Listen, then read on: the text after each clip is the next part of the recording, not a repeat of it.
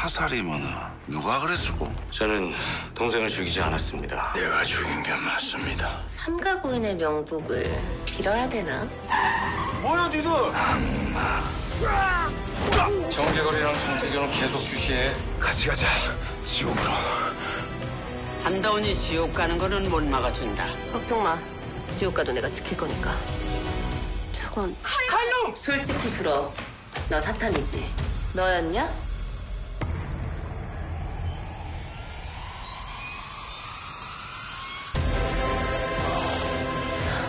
악마의 힘에도 계급이라는 게 있는 거야. 틀렸어. 악마 중에 악마는 나야.